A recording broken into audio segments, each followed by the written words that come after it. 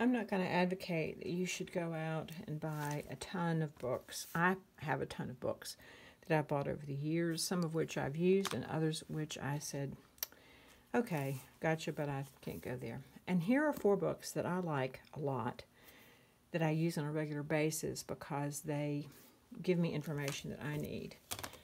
So, I am a landscape artist, but it doesn't matter whether you're painting landscapes or florals. Everything comes about composition. So here's the 14 formulas for painting fabulous landscapes by Barbara Nuss. And she goes through, and she's going to tell you, uh, she's an oil painter, and she has some very lovely paintings in here. But what she does talk about very clearly is how to make decisions about your composition so that you lead a person's eye in. See, she's talking about good negative space, a visual path, what needs to happen to make your paintings do what you want. Now, she's got mixing, she's got all sorts of things. Here's one that shows you the bullseye and her sketches of how to make your eye go where it wants to go. I don't pull this out very much anymore to use it because I've used it and I practiced it and I and I know a lot about um, these things now. I can recognize when I have succeeded and failed. Here's that S format I was talking about.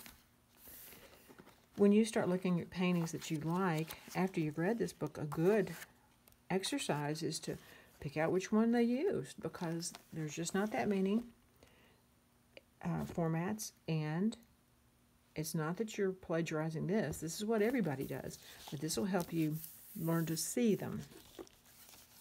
As far as your watercolor is concerned, and learning to mix, I love Jeanne Dobie's Making Watercolor Sing.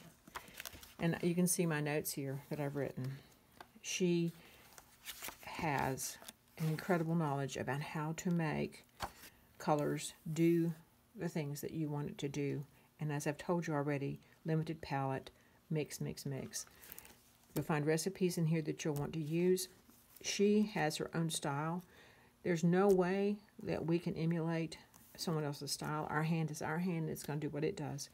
However, learning to mix and learning granulations and learning what it's able to do is wonderful. There again, look at that simple composition and how gorgeous it is.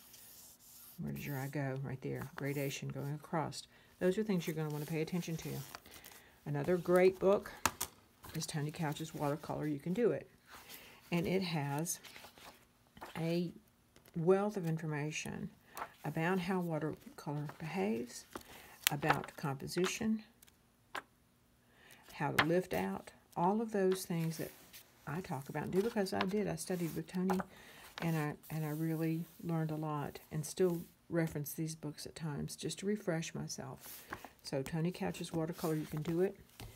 And one that Tony Couches recommends, which I think is a wonderful book, is Painting Trees and Landscapes by Ted Kautzky. Uh, you it is out of print, but I think you can find used ones. In the back, he gives you different compositions that you can draw from and use. You can't, you're not going to put that on a piece of paper and try to sell it and claim it's your composition. However, for practice, it's great. But he gives you trees of all different, I mean, you name it, there's trees. He's drawn all these trees. What I use it for is to inspire me to draw more trees, draw more elements that I want to put into my paintings. So there you go. This is set of books. Ted Kautzky, K-A-U-T-Z-K-Y. Trees and Landscapes. Tony Couch's Watercolor. You can do it. Jeanne Dobie's making watercolor sing or making color sing. And Barbara Nuss, 14 formulas for painting fabulous landscapes. If you're a landscape artist, you can, however, use her formats for composition even in your still lifes. So, have fun.